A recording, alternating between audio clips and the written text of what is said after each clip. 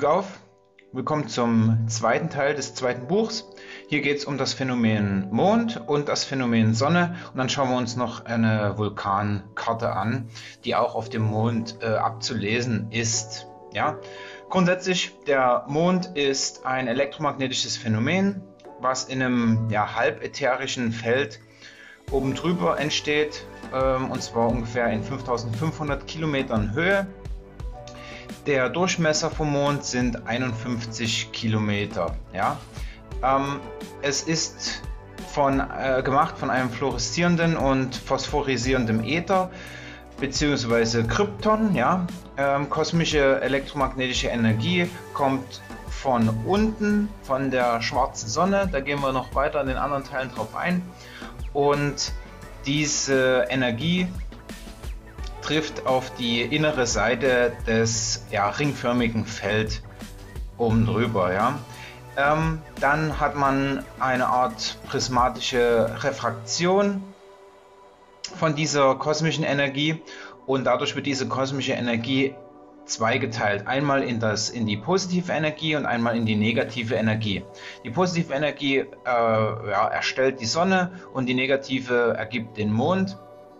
Und dadurch haben wir dann zwei bewegende ja, Plasmaspots am Himmel. Und ja, wir sind sozusagen, äh, oder, oder die, die, unsere flache Erde ist die Linse. Ja, dann auf der Erde kennt man auch, wir kennen diese ganzen Krater, Höhen und Tiefen etc. Ja, es ist wie ja, ein Röntgenbild, ein umgedrehtes Röntgenbild und dadurch kann man auch erkennen die Höhen und Tiefen, die dunkleren Schattierungen als Kontinente, das hellere als Wasser etc. Und diese Charakteristiken ergeben uns oder geben uns ein, ja, eine volle Karte der Welt bis hin zu Höhen, Tiefen, Sternbilder etc. Da gehen wir auch, wie gesagt, noch drauf ein. Die Bücher sind sehr interessant und werden interessanter. Dann haben wir das Phänomen Sonne, ja, wunderschöne Sonne. Die Sonne ist ein elektromagnetisches Phänomen, es, die auch in diesem halbätherischen Feld in etwa 5500 Kilometern Höhe passiert. Auch hier haben wir einen Durchmesser von 51 Kilometer. Ja, also die sehen am Himmel gleich groß aus und das sind sie auch. Ähm, vieles ist so, wie es aussieht. ja, also es ist auch fluoreszierend ähm, und aus phosphorierendem Helium gemacht.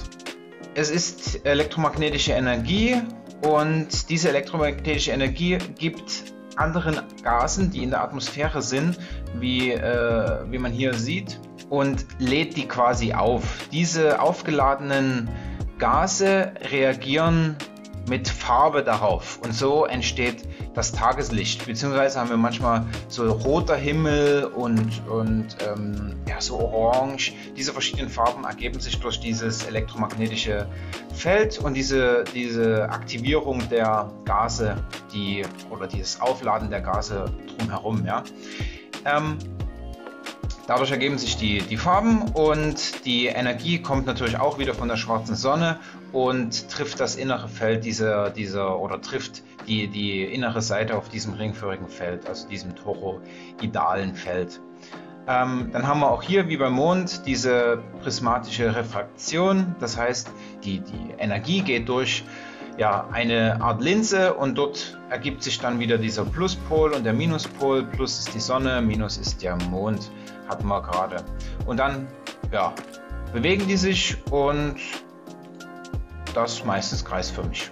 Ja, also die Ionosphäre ist ja die obere, äh, der obere Part der Atmosphäre und dort hast du viele Edelgase und die werden nochmal ähm, ja, ähm, separiert durch die molekulare Masse.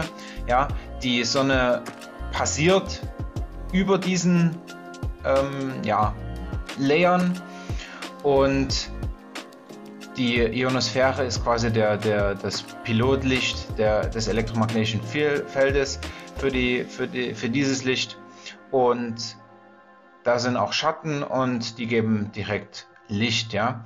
Die Sonne kreiert und läuft kurvenartig oder kreiert ein kurvenartiges elektromagnetisches Feld um sie herum und das macht alle Gase äh, unter ihr in der Ionosphäre, unter der Sonne, ähm, ja, ionisiert diese und dann fluoreszieren diese. Dadurch bekommen wir dieses Sonnenlicht, das wunderschöne Sonnenlicht.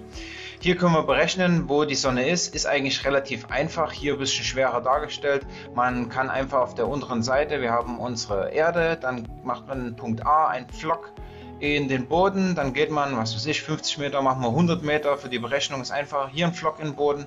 Man berechnet den Winkel von ähm, der Sonneneinstrahlung und dann kann man mit einfacher Dreiecksgeometrie die Höhe der Sonne ausrechnen.